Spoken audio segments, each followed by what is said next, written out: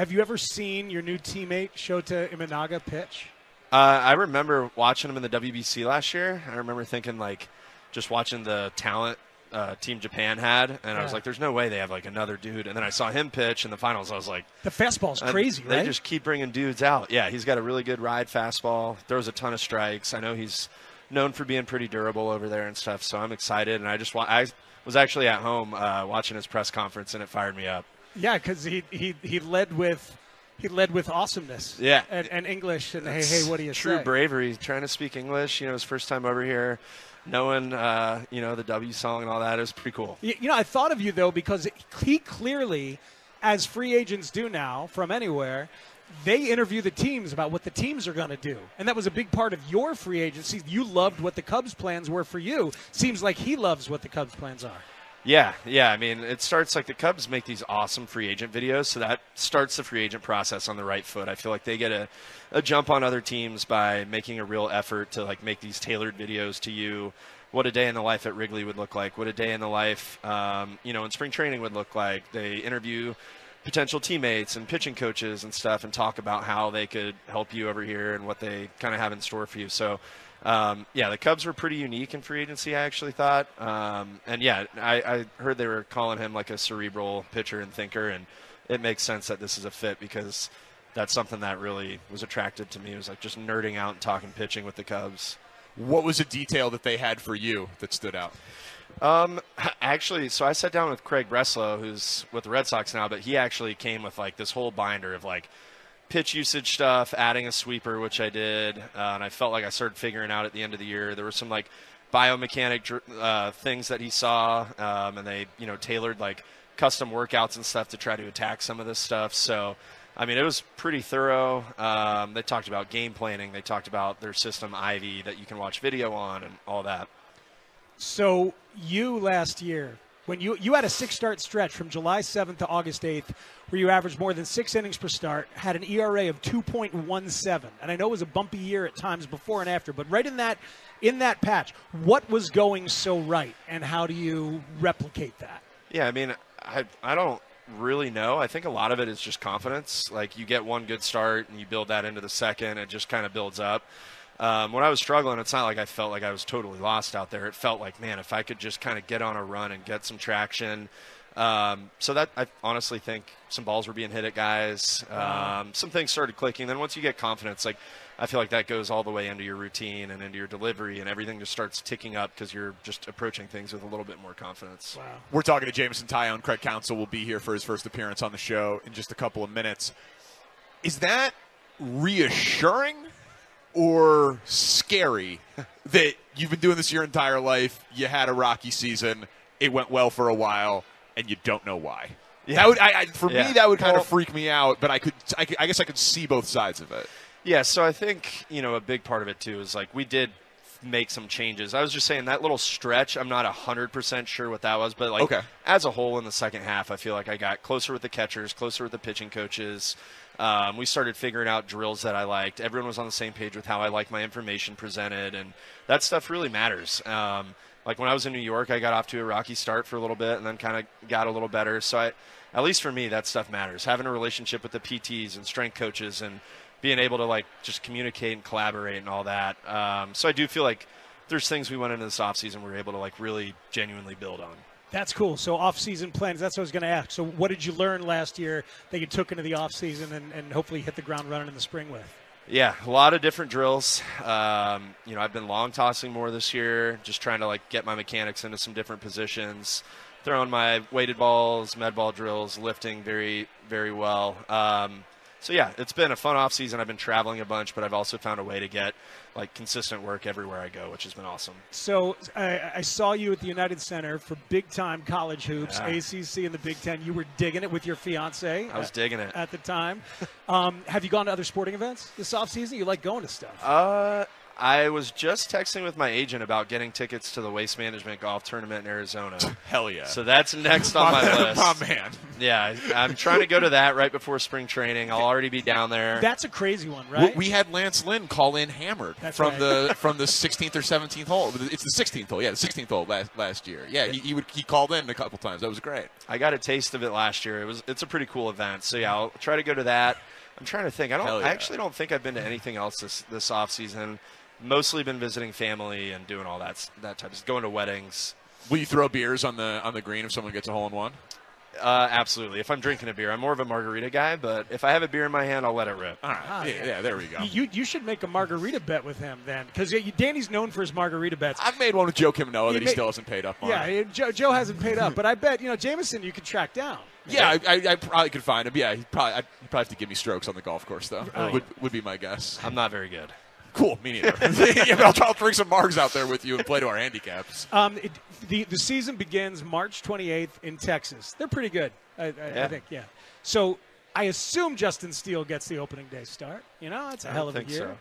I, I, ideally, you go what lefty, righty, lefty, because you go back to Imanaga at three. Is Jameson Taillon in that two spot? What what what matters to you? What what what would you like to see happen? Um, that stuff's always tricky because it just comes down to like when you get to spring training. Obviously, you line up your opening day guy, and Steely has very much earned that right. But um, I feel like a lot of it just comes down to like where you're at routine wise, where your bullpen days fall. Like I'm sure they'll optimize it at some point, but if you're not the opening day guy, I feel like it doesn't matter as much because throughout the course of, of the year, like some guys will get skipped, some guys will get pushed, some guys will get moved up. Like that, we as players don't really read too much into that. Yeah. What I know team goals, win a division, win a World Series, all that stuff. Individually, are you uh I'm willing to verbalize my goals because obviously Cubs fans didn't see the best version of yourself from your baseball reference page and all of that last year. Like, what, what should they expect from you this year? Yeah, I try not to set like specific numerical goals. That's hard. Baseball is a weird game, but I do try to just I know it sounds super cheesy, but be in control of things I can control. So, showing up, working hard, being in the weight room every single day, being a good teammate, uh, hitting my plyo drills, hitting my recovery, hitting my diet properly, all that type of stuff, taking care of my sleep. Like I set goals with all of that. Um, but as far as like numbers, that's hard. But I do feel like if you take care of everything, then the numbers should show up. Um, so obviously, you play the game for that reason. You never know what can happen, but um, I'm more of a just take control of the things that I can do on a daily basis to get better, and then just let it fall.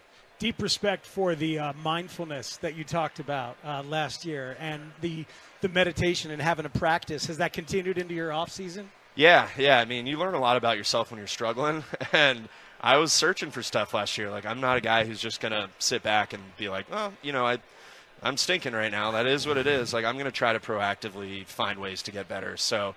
I, it sounds weird, but I started journaling. I started doing some mindfulness and meditation. Doesn't, Um, doesn't sound weird to us. and That that's- sound weird. We're a therapized show, man. Yeah. And I think that's stuff that carries over into like my everyday life. I've noticed I'm just a much more calm person, more understanding, um, and it, it turned my year around. Like right when I, I'm not saying it's the only reason, but when I started journaling every day and like actually taking note of what I want to get done every single day, reviewing what I did at the end of the day, like that literally started on July 1st, and I feel like my season kind of turned around from there. So there could be something to it. Oh, I, I, I think I think there definitely is. I mean, I, I try to meditate every day, and if I don't, like sometimes it'll be like a week will go by, and I'll be like, man, I'm, I'm a mess. Why am I a mess? Oh yeah, it's, pro- it's probably that. Probably that that I forgot to do again. I With try. I try to meditate, then I check Twitter. and then, then, then it Just start scrolling. Yeah, it just starts scrolling. Like, oh my god, I just missed something on TikTok. Yeah. It's just as peaceful. So, Craig, I mean, you heard it in that in that intro. The overachiever maximized your talents. That was what the knock uh, or the, the reputation for you as a manager got the most out of your teams. Do you know how you do that? Like, can you explain the secret sauce to getting the most out of whatever you have in front of you? No. Awesome. Yeah, no, no. I, right. I ca- yeah, I, I mean, I can. I mean, Good I stuff, think. Danny. Well, yeah. no, I mean, I, but it's been kidding. doing it for a long time, so it's a lot of dumb luck then. no, I mean, I, you don't explain it. You just, you know, managing is about people. Uh, it's about players, um, and it's about you know stacking up good decisions, um, and, and and simple as that. And and that's what my job is about. Um, and I don't make it any more complicated than that. I don't, you know, ascribe anything more to like some talent I have than that. Um, but I, I manage people. I take care of those people. um, and and, try, and and by doing that, get the most out of them. And then I, my job is to make a lot of good decisions, um, and they're they're decisions based on, you know, we have a ton of information in baseball, numbers, gut, all those things matter, and, and you use all of it to make good decisions. So, how do you deal with pressure? Yeah, I mean, I, th- I think the, the first thing that comes to mind is like pressure is kind of why you do it. It's not it's not the bad thing about doing it. It's why you're doing it. It's the feeling that you want. Um, you want, you know, we are performers. You know what I mean? And and that that means there's pressure along with that. Most most of it's self-imposed, um, but it's the good kind. You know, it's the good. It's the kind that makes you want to succeed. It's the kind of what makes it. It's the competitiveness in you that makes you want to win. And um, you know that that's how I've always treated pressure. You know, I think any performer's got a love hate relationship with pressure, right? They, they, they, hate it, but they also love it. Yeah, you need it to get you going. That, that's right. Absolutely. A couple of game specifics with you, if you don't mind. Won't hold you to these during the course of the year, promise. really. really. Um, all right, the opener. When I think of the opener, I think of you and Wade Miley grinning at each other after five pitches in 2018. Might we see an opener sometime this year? Yeah, that that was that was um, that was the opener taken to a little bit different level. Yes. Um, they, I think they've made rules that, that have prevented us from doing that. um, but yeah, I, I, think you you always consider it, um, and and then you know the thing about the openers, you consider it, you talk about it, you talk about it a lot, and then uh-huh. you got to find what's the good in it, and then what's the ramifications from doing it, and you got to consider both sides of it um, when you do it. All right, so that's a maybe. Um, you got a part-time hitter who's hot, three great games in a row against favorable matchups. Tough, tough matchup on day four. Is he playing? Any chance he plays if he's red hot after three days, even though the matchup isn't good on day four? Yeah, you're leaving out a lot of information. Uh, I mean, you're leaving out a ton of information there. Okay. So, so I don't have to answer that because no. you're not giving me all the you're not giving me okay. all the data points there. Man. All right. Well, how about this one? First and second, nobody out. You're down two runs. You got a three true outcome guy up, but he's also a pretty good bunter.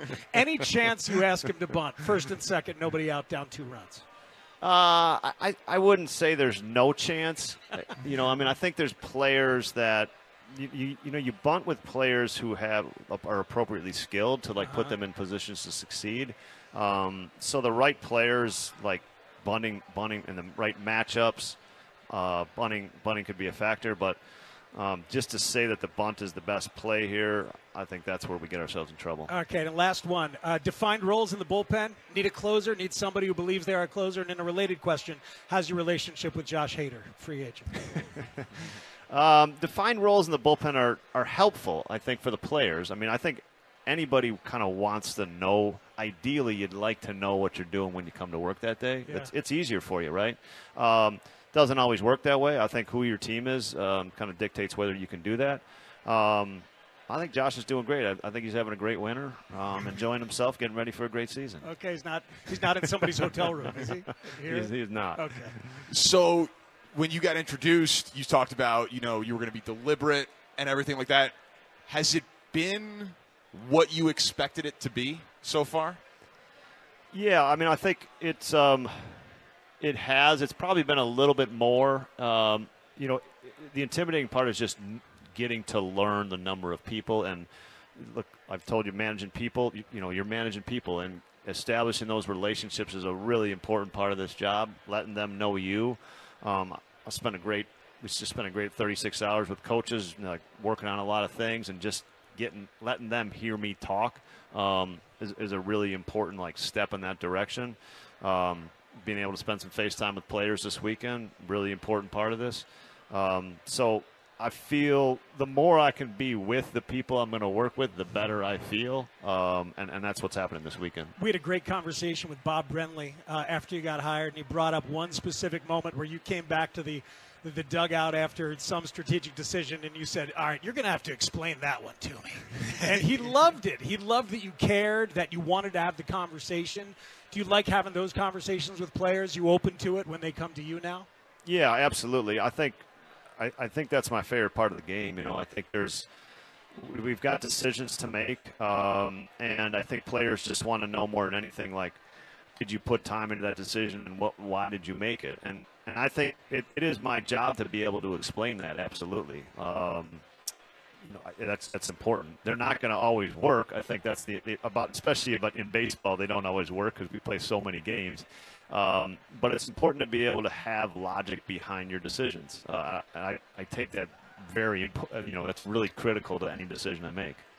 So expectations, Theo used to say that now they were a, a victim of their own success because it used to be the lovable losers and all that Yeah. sort of thing, and then you have that crazy run. Now you have to live up to them. You get hired in very high profile fashion. There are expectations from all of these people. What would you say to Cubs fans about what they should expect? Yeah, absolutely. I want expectations. Our players want expectations. That's why we're here. Um, so we, we should be held to those expectations. That's that's part of this. Um, that's a great part of this. Uh, and, you work hard. You work really hard to get expectations, um, and you want to be in atmospheres that produce that the pressure of expectations. We want that, and if and if you don't want that, we're in the wrong place. Have you been enjoying Chicago? What have you, uh, what have you been able to do? Um, this week's been this week's been like I'll tell you one of my favorite things is it's it sounds weird, but like uh, I told the I talked to spoke with the Cubs uh, associates this yesterday two days ago, and and literally for me, still just like walking across the street, like parking my car and walking across like a city street and into the ballpark is still just like it, I get chills even in the winter, and there's no fans there, there's no you know, there's not crazy energy going on, but still just walking across that street into Wrigley Field is is something that it's been really special every time I've done it still. Were you freaked out at all during the first 60 days of this particular offseason when there was not a whole lot of activity? Because fans were freaking out, man. Like we dealt with it a lot, like uh, you know, panic. Did it ever? Did it ever hit you at any point? No, is the, is the short answer. I mean, it. I I was talking to Jed about this the other day, and, and neither Jed nor I have Twitter or Instagram or really read much. And as awesome as you guys are, don't listen to you guys uh, often. I Um, mean- love you, like, but Yeah, just, obviously. but yeah, Yeah, my um, wife doesn't listen either. But I was like, I was like, you know what? It's kind of like like hearing on the periphery, you know, that concept of, of you know, hey, like we're running out of time. It's like it feels like you know, when you're a kid and you got 45 minutes till you got to go get in the car for school, and you know it's only going to take 15 minutes to get ready, and your mom's calling down like, you got to hurry up, like let's go, and you're like, we're, we- we're it's fine. Right. And that's kind of how we felt. Like it's fine. It's fine. To be honest, if you would have been listening, and you should have, Right. I was like, eh, it's fine.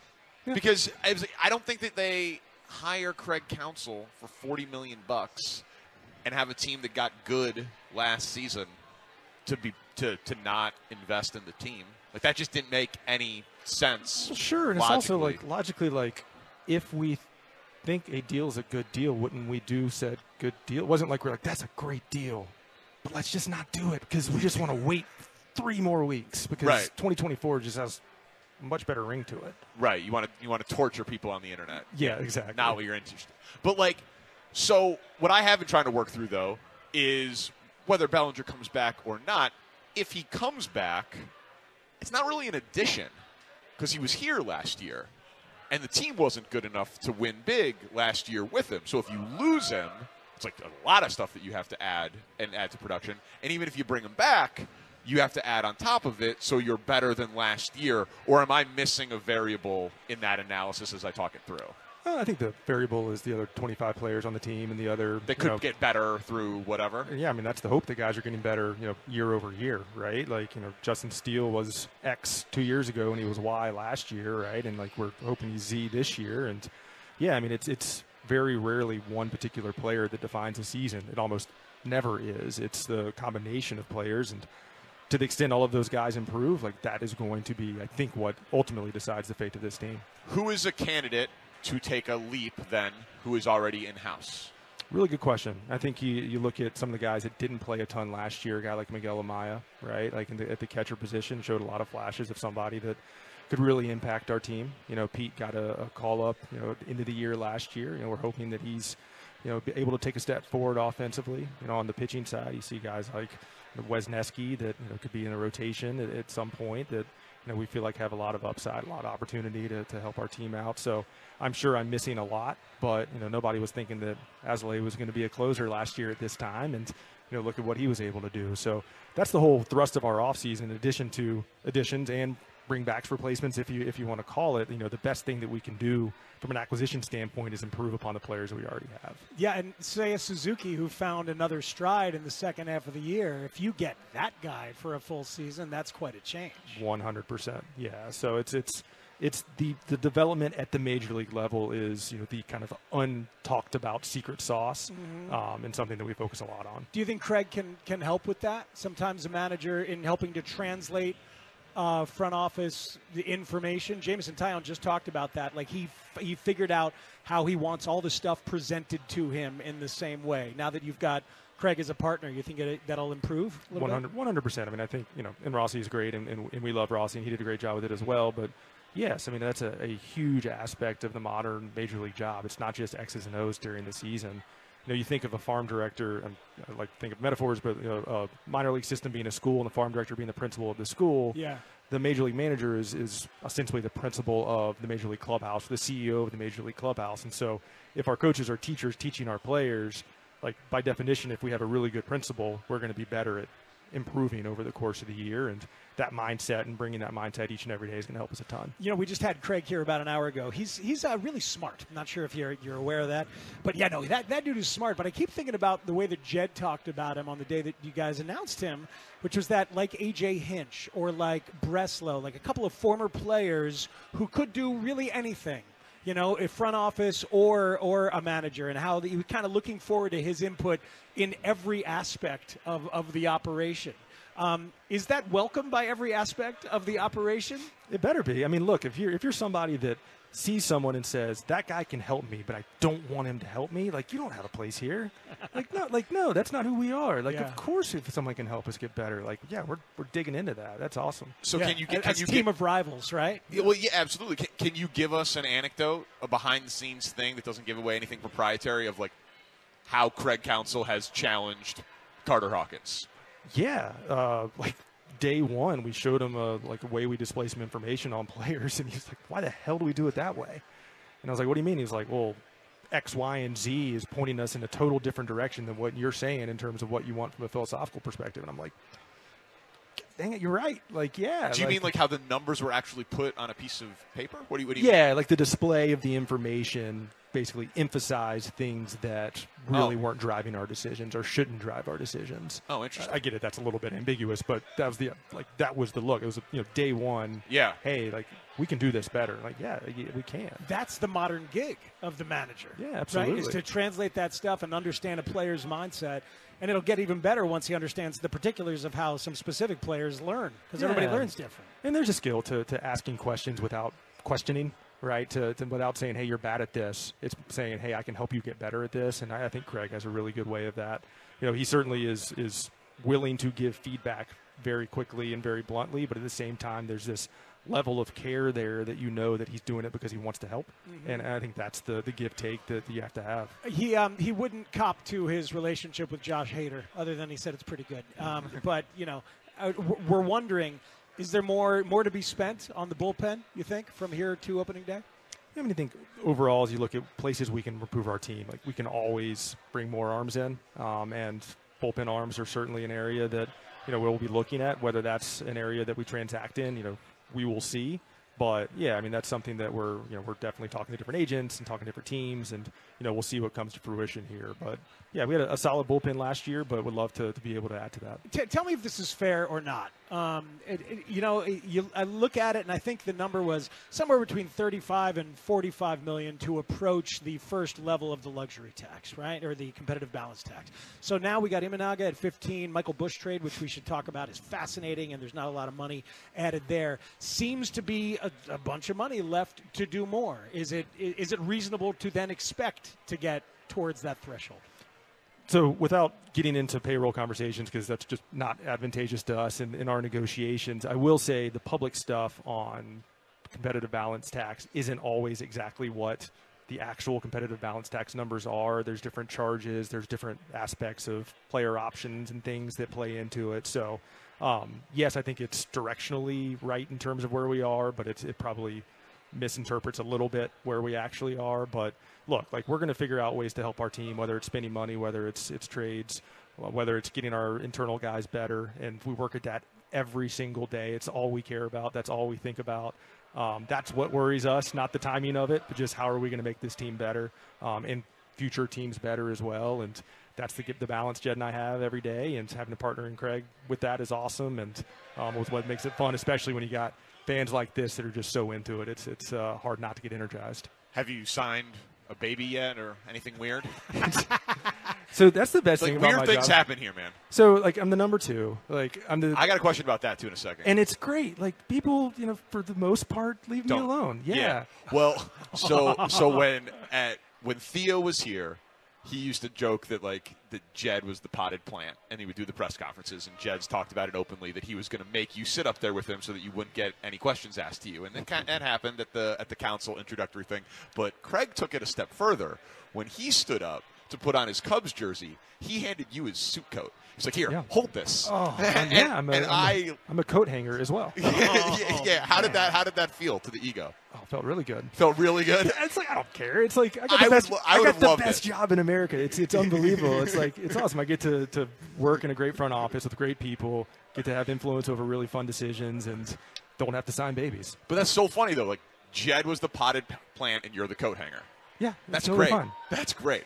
Yeah, I mean, I would like to think like we just needed a better looking plan, and then I also am a coat hanger. but yeah, I mean, like however you want to call it. However you want to call it. I appreciate that. I appreciate that. Yeah. Uh, tell, tell us about Michael Busch. It's really interesting trade. Jackson Ferris is uh, it might be big time, but it might be 2026 or 2027. You guys are trying to win now. So, w- what do you like about this kid, and at what position should we be looking?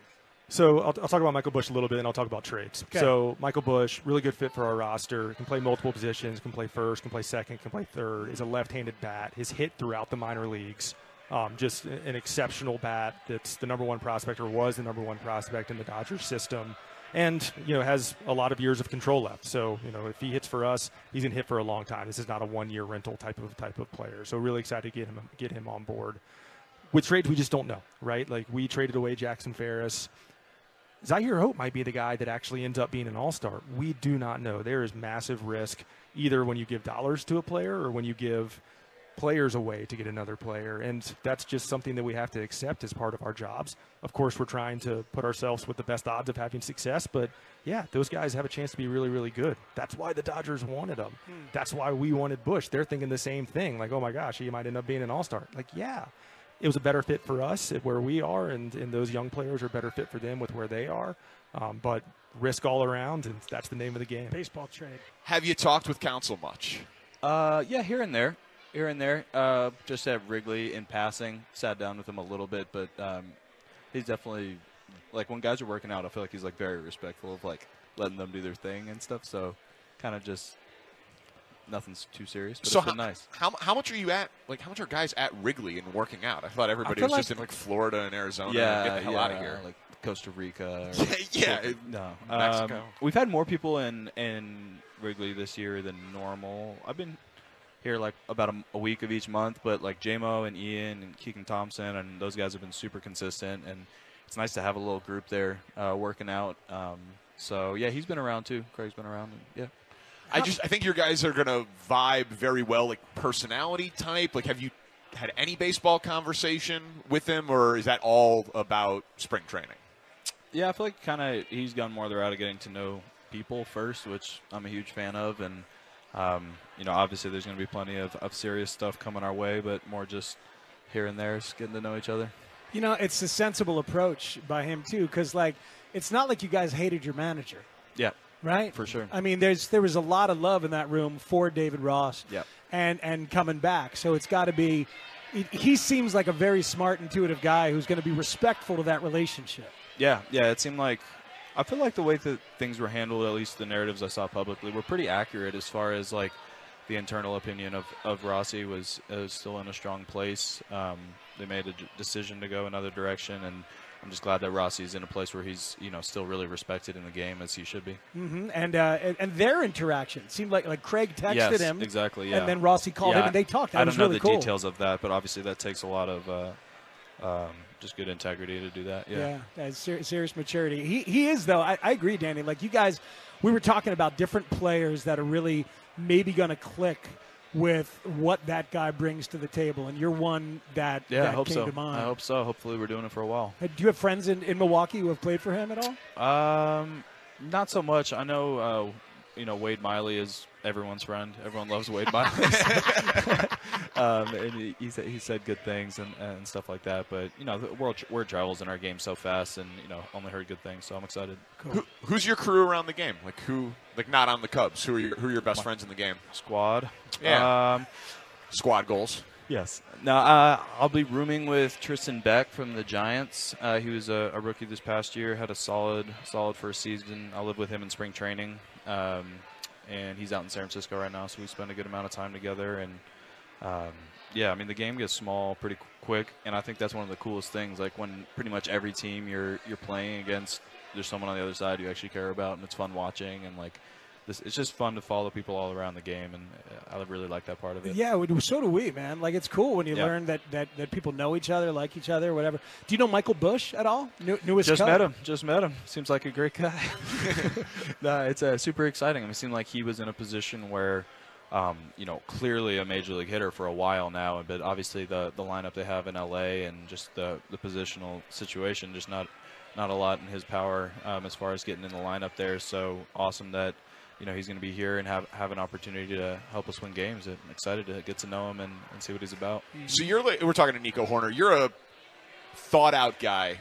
Do you have this offseason I need to get better at this? Like is it is it are you working towards specific goals of improvement or is it just stay in shape and be ready to be healthy for the grind? Yeah, no, that's a great question. I feel like um, people. Oh, thanks. yeah, yeah, yeah, yeah. Good job, team. Squad goals.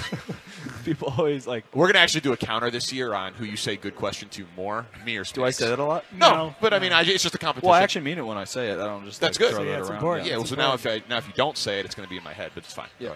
Average, average question. Yeah, yeah, yeah. I don't. I don't set a lot of goals to be honest, and like. Of course not. Yeah, uh, it's. I mean, there's some like process goals, and that's a super boring answer. But like, obviously, the part of my game that I feel like is the biggest difference between me and like the true stars of the game is is power. I haven't um, brought a lot of power to the table, uh, especially last year. Um, and then where that comes from is super interesting. I think there's a lot of ways to go about that, and I think over 600, 700 at bats, 700 at bats, a lot of that comes back to approach and, and mentality, and like that's always going to be the first box that I'm I'm making sure I, I check and can improve on, and um, a lot of that just comes from playing the game. So you know, just super grateful to have however many at bats I've had in the last two seasons and games played, and to be out there as much as I was, and um, you know, I really trust that continuing to improve a little bit over time is, is going to have that show up. See, I, I'm your dude who, who will nerd out on that process. But but let's let's get away from the power. To Danny's question,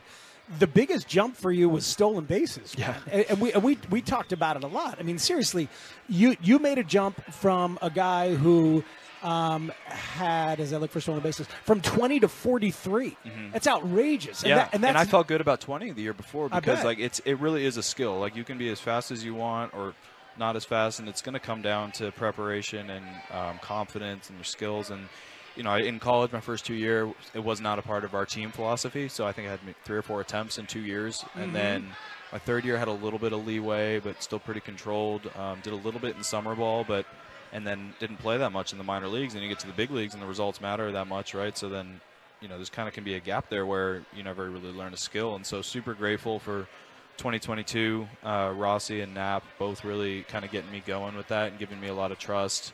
And then this last year, really letting the letting it go and having a full green light. Um, but there's so much credit to to Knapp behind the scenes, Mike Napoli. Um, known base stealer himself. yeah, I actually just love that so much, right? Because the dude's got you know 270 homers or whatever he's got in the show, and Yeah. a legend for so many reasons, and uh, and now he's locked in on base running and getting us bags, and you know fired up after the game when I see him after I get a couple bags or things like that, and That's cool. that stuff is so fun. Yeah. psyched, psyched to see him back and Oh, really yeah. back. Absolutely. Yep. I love our I love our staff. I thought we had a great staff last year too, and um, and, you know keeping a lot of guys I really enjoy being around. So this is a little psychoanalysis, but you said you had a great off season and like one Yeah. of the, one of the best. And Yeah, off it's air, I don't really think, enjoyable. I don't think I'm revealing anything out of school there, but like, you know, you win the Gold Glove. the contracts in the past. You're like obviously more than established Yeah, now. I've mailed it in. No, but that's not. I, I, I, would think the opposite, maybe. Like some of that stuff of like that would be natural. Of it's a sport of failure. Do I belong here? What's my position Yeah. going to be? Am I going to be able to set my family up financially, which is the goal of any professional athlete and any human being? Like that stuff is taken care of, and then you can just kind of be like, go play ball. Is, is there anything to the noise quieting around you, and that maybe leading to some of the comfort, enjoyment? Yeah, yeah, that's a good question. I think there's some Two. some, Thank some, job, not damn. Sorry, I'll, didn't- I'll come up with I didn't mean that one as much. the um, I think I think it's like different parts of the off season. I've noticed like cycles in my mentality where like you know it's easy to relax in November. Like I don't have as much commitment, and then the holidays I've always gotten like pretty stressed out. Like because it's a time where I'm like really supposed to be doing stuff, but there's also like a lot of other stuff going on, and kind of have that in between space, and that's where I can kind of get anxious in that time. And so I think just recognizing that and knowing there's a cycle to it, and like I've been through it three or four times, and like it's going to be okay, and I've done this before, and kind of things like that that show up all the time. Whether it's like when do I go to Arizona? Like I want to be ready. Like there's games four ti four days after we show up for our official dates. If I can't show up then, and you know you start kind of spinning yourself in circles and just having a little more peace of mind with that. But I mean, but on the flip, s- I mean, you talk about accomplishment. Like, I haven't won anything. Like, I haven't been a part of winning. So, like, there's kind of a lot to do, you know. So Hell yeah, kinda- there is. Yeah, so kind of feels like a lot of things are just starting in a lot of ways, if that makes sense. Yeah, it I think. I mean that's that's a great answer. I was asking individually, and you're talking about the team there, but that's the kind of guy you are. Like you, you did win a Gold Glove, but but you mean you you are most motivated by being on a winning. team. Yeah, it's the coolest thing you can do, man. It just Yeah. I, it, I guarantee you, if we're having if we have a, a winning season, you know, we win the Central, we have success, we keep going. Um, that there's going to be a, a ton of individual success within that, and you know, I, if I'm healthy, I'd like to think I'll be a, a big part of that. So, yeah. So, um, so I remember when young Nico came off the couch in that September after the year you were drafted and you were thin. Yes. And then a couple years later in spring, you showed up and whew, you were swole. Mm. You were thick and, and strong. And then there were some soft tissue uh, injuries. Yep. And now I think we, we've gotten to the just right portion of the Three Little Bears analogy uh, for Nico. Are you are, are you feeling that same way about your physicality, or is there any temptation to get stronger? Um, yeah, it's good. good. Don't even say it. yeah. That whole thing was so blown out of proportion about my body changing. Like It I was? was like seven pounds different, Okay. probably. Yeah. It was just visually then. What I, was it? Uh, well, I changed my uniform size. I got called up, and I That's just got cheating.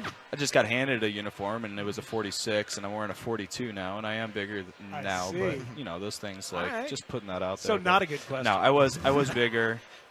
I feel like I'm in a good place now. I think there's a lot of different ways to weigh what I weigh, and I think I'm getting a better understanding of what that means. Ah, Um, That's interesting. Performance athlete stuff. yeah, yeah. Actually, did a little little InBody test today, and was feeling pretty good about it. So Hmm, what's an InBody Oh, test? the InBody is a little thing you stand on a scale, and then you hold these things, uh, and then it tells you your body fat percentage and things like that. So I've been doing that once a month. It's kind of nice Wow.